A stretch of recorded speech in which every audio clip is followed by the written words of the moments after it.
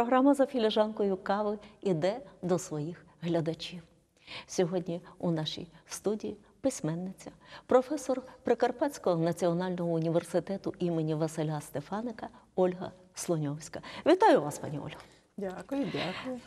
Пані Ольго, ми вже розмовляли у цій студії з Володимиром Шовковшитим про вашу нову книгу. Книгу, яка вийшла у видавництві Український пріоритет і називається Упольоване покоління. Ми вже намагалися говорити про це упольоване покоління, але без вас, без авторки, мабуть, неможливо розкрити тему. Отож, чому упольоване покоління? Адже я знаю, що була дівчинка на кулі, і невже дівчинка на кулі усвідомлює себе упольованим поколінням? Розумієте, я дуже би хотіла, ну так мені мріялося, що буде е, трилогія, і кожен роман буде під своєю обкладинкою. І дівчинка на кулі, ну, звичайно, це про дитинство, це треба було показати е, особистість, яка е, буде робити помилки, буде відчувати гріхи, буде плакати, буде страждати, буде як той цуцик вити з болю, жаху, що я наробила, але зупинятися не буде. Тобто я хотіла показати, що навіть у маленькій дитині багато вітаїстичних сил, тому що в нашій українській літературі самі здохляки. От починається за здравії, закінчується за упокой. Тут гарний, гарний, гарний, бах повісився. А чому? А тому, що автор не знає, що з ним робити. Просто ну, не знає. І це в жодній літературі такого нема, світовій. І в українській літературі уперше взірцевого героя показав Іван Багряний. Його герої не вмирають просто тому, що так всі стало. Його герої перемагають смерть, перемагають обставини і все решта. Мені розумієте, в нього немає дітей. В нього... Тим паче не шукають собі такого якогось ну легкого кінця, відходу від цих бід, Так, проблем, так. нещасть. Вони не запрограмовані на рай, вони запрограмовані на земне життя. І якщо взяти розгром, який невідомий українському читачеві, це наскільки потужний твір, що в українській літературі його рівно не- нема. Ми вивчаємо Тигролове, ми вивчаємо Сади Циманський і багато чого іншого. Так, це внесок Івана Багряного. Чому ж ми не вивчаємо розгром? Де він показує націю молоду українську, яка йде через всі материки, через всі континенти, і вона йде, тобто вона рухається вперед. Е, По суті, точкою відліку став Іван Багряний. І е, в мене була така, ну, такий задум, монографія слід невловимого протея. І це було різні літератури е, з цілої Європи, і в тому числі російської, зовсім інше бачення. І Анни Карєніни. Тому що весь ах, бідна, нещасна Анна Карєніна. Ну чим вона нещасна? Той же ж її чоловік, ну добре, кинулась під поїзд. Ну, тут лише одне слово підходить, ну і дурна. Ну чого вона скинулась під поїзд? Та тому, що Вронський тепер пожаліє. Карєнін тепер що пожаліє? Що пожаліє? Вона любить Сереженьку, першого сина, а дочку, яку народила вже від ну без шлюбу, вона вже не любить це. Ну, певно, якщо вона була дружиною прокурора, то це вона була хтось. А якщо вона була коханкою, то вона ніхто. Значить, вона робить на зло, не думає ні про дитину, нічого. І ось Карєнін, Невронський, бере ту дитину доглядати, практично зовсім не його дитину, плід гріха. І якщо розставити правильно ті позначки, Ну і знову ж Каренін від слова голова. Е, Сам Толстой був. Я думаю, що він і на місці Кареніна був у багатьох аспектах. Чого ж він тікав з дому? Значить, була на то причина. Якась причина. І тікати доженуть останні слова його бо Це, це ж правда. І я зробила слід невловимого про те, я літературу діаспори просто перелопатила. Всю. Навіть то, що привозили за кордону в таких, знаєте, то ж після війни неграмотне. Е, На газетному папері, в руках розлазиться, шрифт старається рукою потягнув, шрифту нема, розумієте? Але тоді, от то воно вже мені закінчилося. Ну чому Багряний?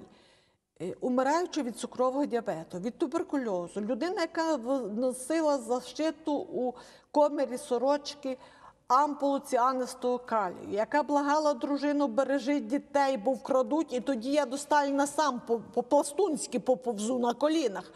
Людина надзвичайно сильна. Саме Багряний відправив українців, яких ніхто не хотів, бо Сталін казав, що це убивці, і в світі була велика біда, безробіття після війни. Він же звертався до всіх країн світу, щоб прийняли українців. Коли е, вирішила прийняти Австралія, треба було через Італію їхати. Ну, поїхали українці, прислали два кораблі. Один корабель називався Анна Сталем. Люди пішли по трапу, хтось крикнув Анна Сталіна, люди вернулись назад, дуже багато людей потопилося. Приїхав, прибіг посол, сказав так, або ви їдете, або ви не їдете, і ви умираєте в голодній Європі. Він дійсно дуже багато зробив. Я його романи перечитувала кілька разів. Чому? Тому що, бачите, от друга книжка називається Закон Айсберга. Це подячна е, промова за Нобелівську премію Ернеста Хемінгуея. Значить, він там говорить, що от в книжці те, що написано словами, це лише 15%. Те, що ми знаємо про себе, про свої можливості, це 15%.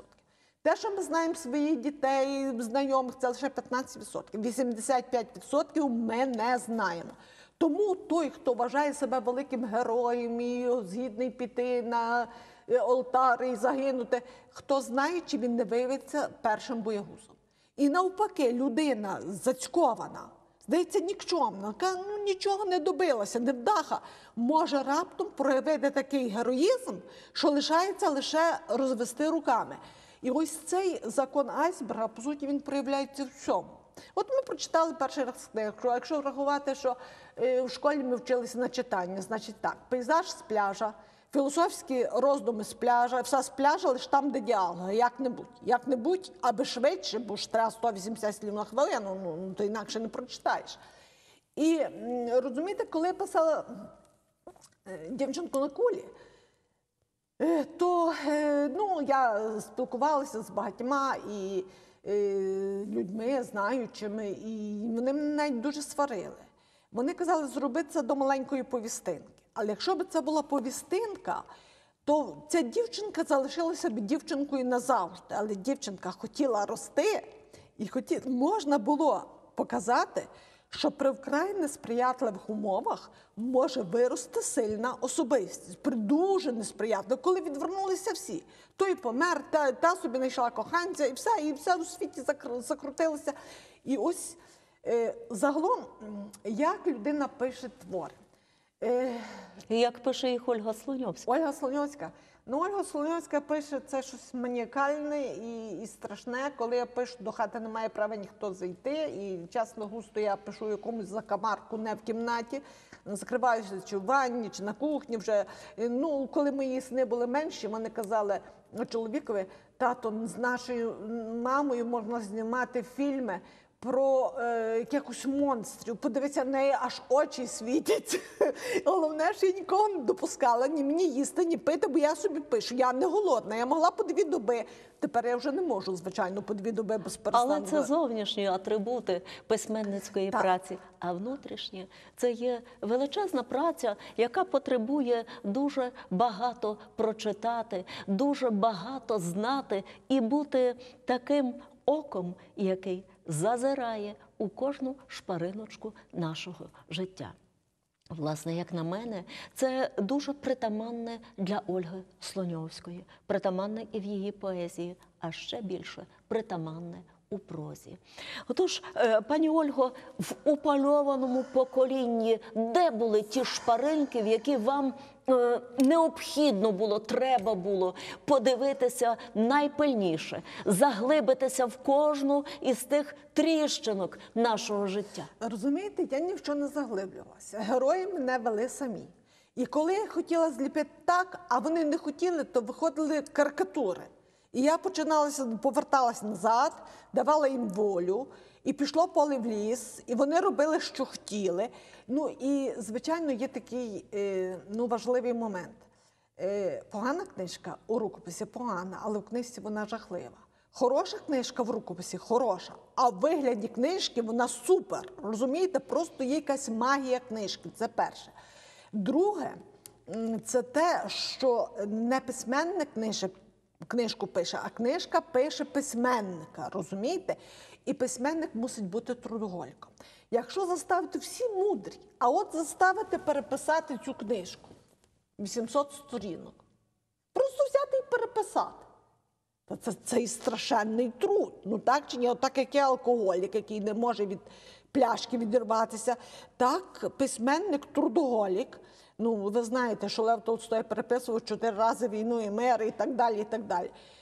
Ви розумієте, входиш в якесь гравітаційне поле тексту, текст вже не відпускає, вже нікуди ти не підеш, вже нікуди не поїдеш, вже не будеш писати докторську. Будеш писати то, що тобі з небесного архіву каже Бог. Ти все пустиш під укіс, навіть великі цінності, навіть дуже великі цінності, розумієте? І м, книжка, от е, коли вона народжується на папері, треба тільки встигати записувати. І вона страшна, вона буває з помилками, з негарними словами. Вона буває, знаєте, от зараз дуже часто партнерські пологи. І багато чоловіків просто умлівають, і вже лікарі е, крутяться коло чоловіка, а не коло породіллі, ну бо він вмирає. Він як побачив ту дитинку, яка народилася, а вона, звичайно, не, не естетично виглядає. І він злякався того. Ось всього. так виглядає рукопис. Отак виглядає рукопис, розумієте? І тут головне не зненавидіти свій рукопис. Тому що можна, ну, ну є ж чоловіки, які були на партнерських родах, і вони е, розлучаються, дітей більше не хочуть, все, планка впала. Але Ольга Слоньовська пише книжку за книжкою. Та тому, що є Володимир Шукошитний. Ви розумієте, він практично півроку відзьобував те все, що було не так. Чесно кажучи, мені набридло, тому що це дуже тяжко. І в народі це кажуть підірватися. Розумієте, підірватися. Кажуть, що всі хворі, Іван Килавий дужий, той, той, Іван, який має грижу. І коли ти так тяжко її родиш, а потім виявляється, її ще треба лизати, чесати, шліфувати. І буває, знаєте, такий той анекдот, що Радянський Союз і відправили у Японію надзвуковий е, лайнер.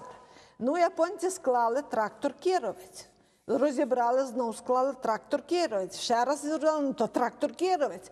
Ну і дзвонять у Москву, присилайте ваших спеціалістів, бо лайнера нема.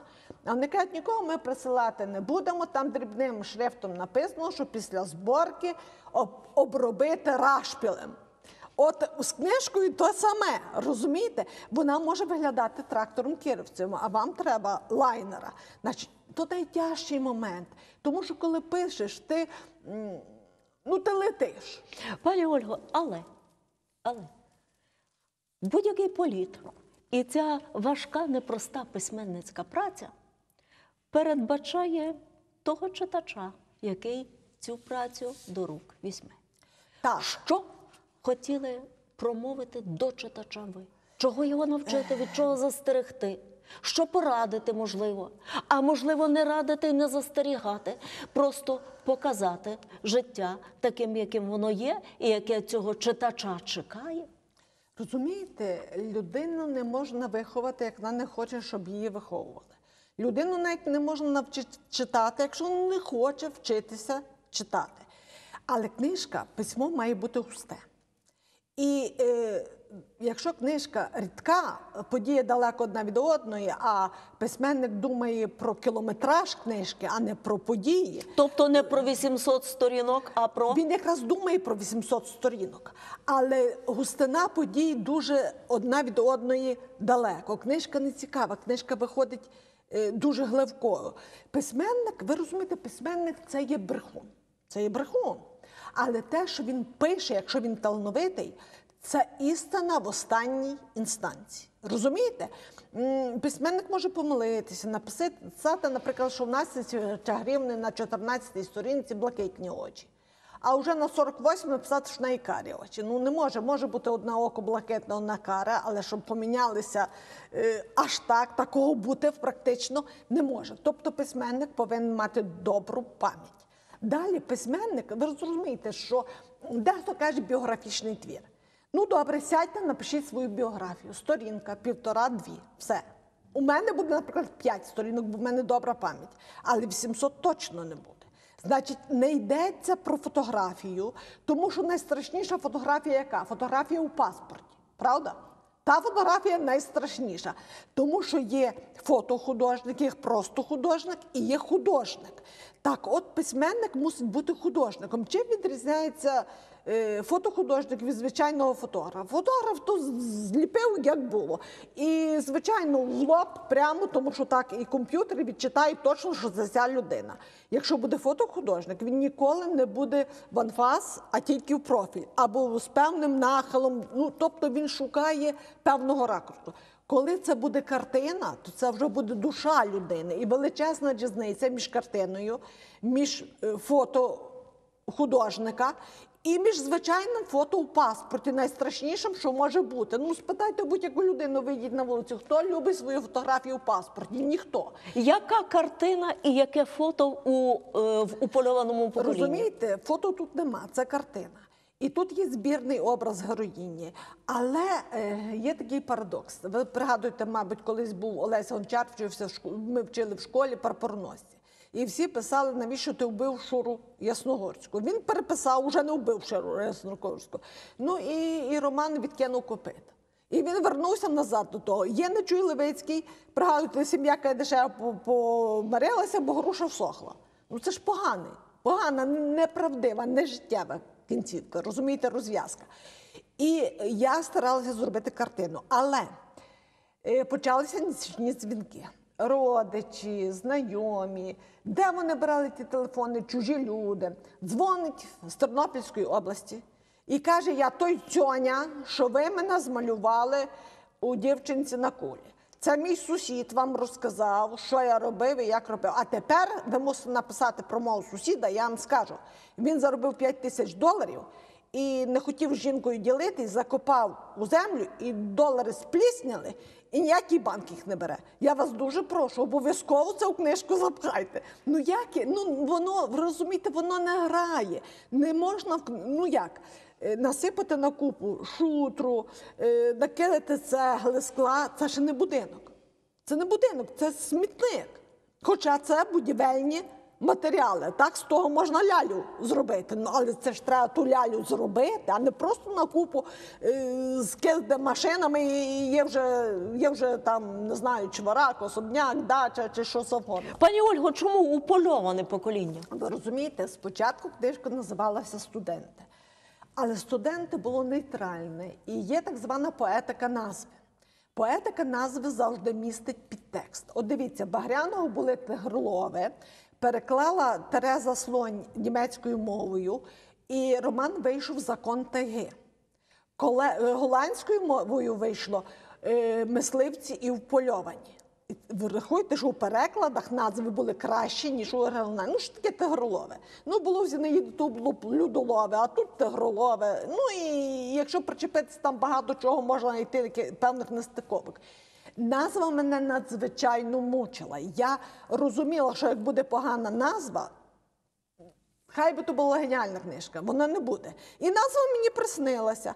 Ну, приснився, мій тато був мисливцем, і коли я була маленька, і мене мало лисиця не загризла, бо вони привезли лисицю вже вбиту, а я смикала за хвіст, лисиця ожила і кинулася на мене. Але справа не в тому, я плакала за зайчиками, за іншими тваринками, яких ну, там привозили куріпок, і все. Мені було шкода. І я весь час то приходили офіцери ну, з татом з військової частини, і я весь час казала, ви вистріляєте все. І коли я виросту, не буде ні зайчика, ні лисички, нічого не буде. Але сліз в цій книжці нема. А навіщо сліз? Ви розумієте, мені то мило сентиментальне, просто набридло. І одного разу тато мені сказав, всіх звірів ніхто вибити не годен. Хоч би який був мисливець, хоч би полював кожен день. Отак само в поколінні. Так, тоталітарна система полювала над людьми, на людей. Розумієте? Але, от навіть було так в одного російського письменника, КДБ грає чоловіком. Іграють чоловіком КДБ. Але уполювати всіх неможливо. Хай це будуть винятки.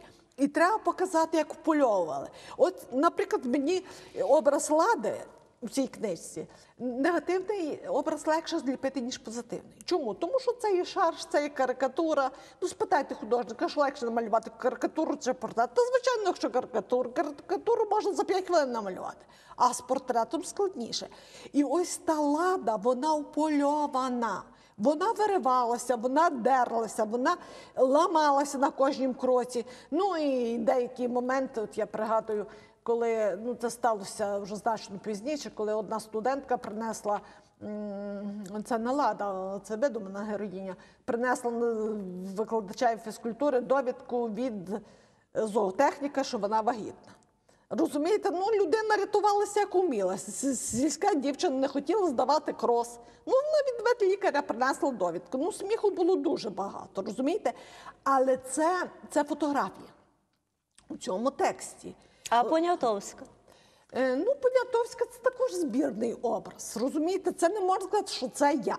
Бо навіть коли автор пише автобіографічний твір, ну, наприклад, Довженка зачарована зна, е, батьки Довженка були дуже багаті. І мали човен, а той човен, мабуть, був більше, ніж зараз мерз. Ним можна було ловити рибу, возити сіно. Ну, і, і, ну коли Довженко пише, що мали коростяні коні, уявіть собі, ну будь-яке село. Та селяни би вбили того, хто би так доглядав за худобою. Бо короста пішла би по інших конях, а по-друге, навіщо худобу мочиш? Ну, Навіщо?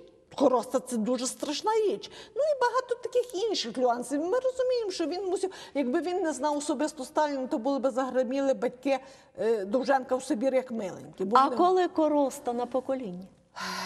ну, на людському поколінні? е, Короста на покоління це можна розцінювати двояко. Короста буває як випробування Боже. Тобто людина пішла не тим шляхом, не те зробила. От у Ліни Костенко е, старезний, тхорезний дід, який писав доноси. Тхорезний дід, який писав доноси. По-друге, є закон бумеранга. Ми на тім кінці кажемо чки, а другого боку кричать Бувай здоров. І що ми зробили? Настане час, і ми отримаємо за те, що ми зробили. Ми зустрінемося з ту лю- з тою людиною, яку скривдили. Ну, наприклад, тут реальним образом є образ мого тата. І коли він зустрівся з цим кадебістом, який бив його, знущався, і, і обидва з інфарктом, і той кадебіст кинувся тата задушити, бо він цю дитину, ну, вже дорослу людину впізнав. І, але в нього був також інфаркт сильний. Ну і, і тато боронився, він його відштовхнув, і той кадебіст ну, впав і вмер. Розумієте, ну добре, це був 91 рік. Якби раніше, то ще б і в тюрму запхали. Ну так чи ні? І інші такі речі. І якщо рахувати про КДБ, це є, це є страшні речі. У нас така була прибиральниця. Тут є вставка про от моя бабуся отримала 25 років е, у Іркутську. 25 років. Ви собі можете уявити, шестирічний тато лишився круглою сиротою.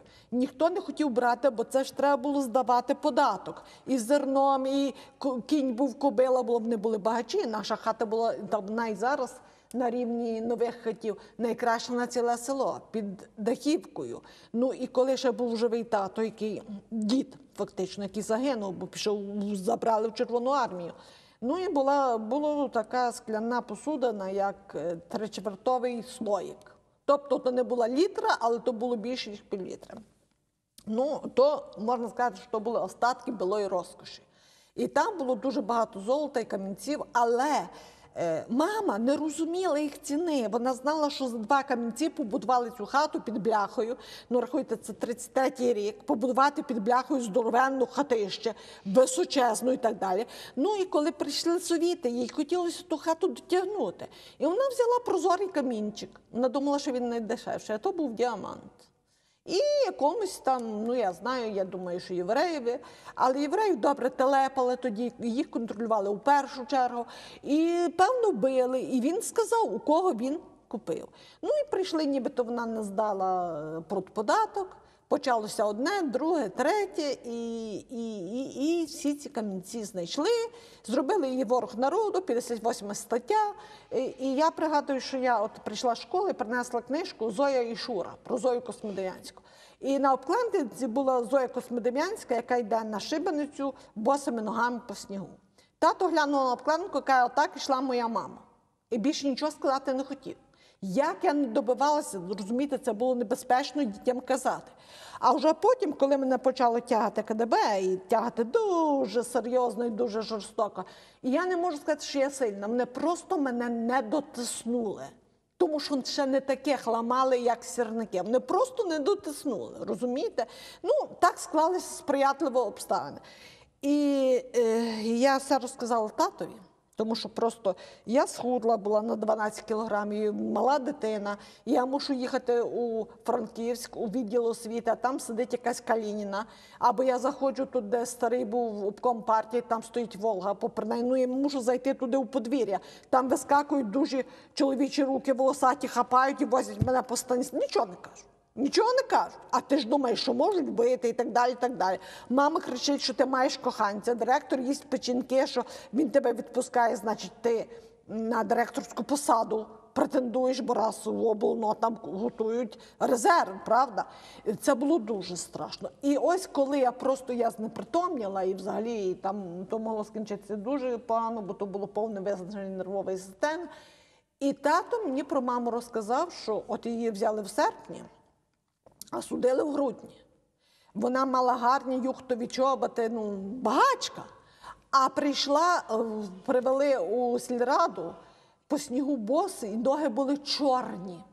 Від холоду вже не було ні чобіт, нічого, навіть не дали з дитиною попрощатися, розумієте?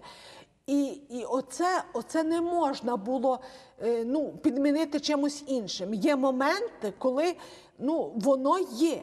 Щось з тих фотографій, так би мовити, умовно кажучи, можна просто викинути, бо то фотографія у паспорті. А щось є важливе. А далі треба будувати лінію вже картини, а не фотографії з паспорта. Розумієте? І Ольга Слоньовська пише свою картину, пише її густими фарбами, пише її контрастно, пише її, вловлюючи все те, що пережила і знає сама, що пережила і знає її родина, що пережили інші люди. Ті, які можуть знайти номер телефону і зателефонувати до письменниці увечері. Вона візьме ту слухавку, вона вислухає, і, можливо, колись хтось із персонажів заговорить у тій трубці. Словами, які почула лише письменниця, але даремно чути самі. Чути маємо усі ми. А потім, а потім в українському пріоритеті, у українському видавництві, яке очолює письменник Володимир Шовковшитний, вийде чергова книга, вийде ще один роман. Вийде твір, який візьме до рук читач, і перед ним постане ціле покоління. Я дякую Ользі Слоньовській і дякую усім вам, дорогі наші телеглядачі. Адже всі ми є учасниками, можливо, художниками, а можливо, фотографами тієї фотографії, на яку хочеться або не хочеться дивитися. Картини, яку хочемо мати в себе або яку не хочемо бачити. Ну, все все. Ми залишаємо вас з вашими роздумами. Ми залишаємо вас, вірячи, надіючись, що книжка Упольоване покоління таки буде прочитана. Це дуже індивідуальна справа. Це справа особиста.